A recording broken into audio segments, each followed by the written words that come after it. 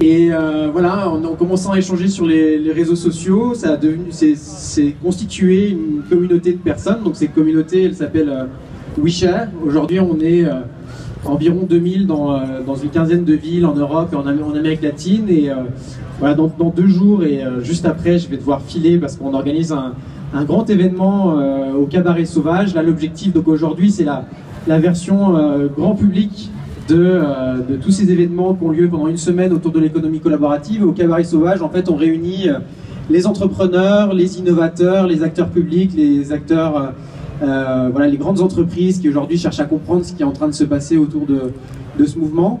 Et ce qui est passionnant, c'est que eh ben, cette économie collaborative, elle est en train de se développer probablement encore plus rapidement en France que dans d'autres pays. Je ne sais pas si c'est parce que la société française, elle est un peu fatiguée, elle en a un peu marre que tout vienne d'en haut et qu'on soit dans une économie extrêmement verticale euh, où on doit tout attendre finalement des, euh, petits chefs, euh, qui, qui, soient au niveau politique ou, des grandes entreprises. Et, ça, c'est assez passionnant de, voir ce qui est en train de se jouer là.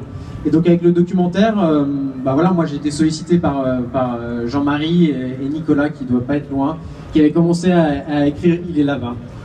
Euh, euh, qui avait commencé à écrire un scénario euh, autour de, ces sujets-là et puis euh, et puis euh, voilà de fil en aiguille ils m'ont proposé que, que je les accompagne donc à San Francisco, à Rio et un peu partout en Europe justement à la rencontre de, de ces pionniers, de ces gens qui sont en train d'inventer ce monde nouveau. Et donc on on a déjà vu le, le, documentaire, moi je le trouve extrêmement réussi, donc je pense qu'il va beaucoup vous intéresser si vous êtes là si vous êtes là aujourd'hui. Et euh, l'objectif, c'est que, voilà, que ce, en fait, je pense que ce documentaire, c'est aussi une étape dans ce qui est en train de se jouer actuellement à Paris et plus généralement en France et dans le monde, dans l'accompagnement de ces, euh, de ces nouveaux modèles. Donc, on vous donne rendez-vous euh, là dans les prochains jours au WeShare Fest et ensuite pour poursuivre la conversation et, et accompagner tous ces beaux, tous ces beaux projets.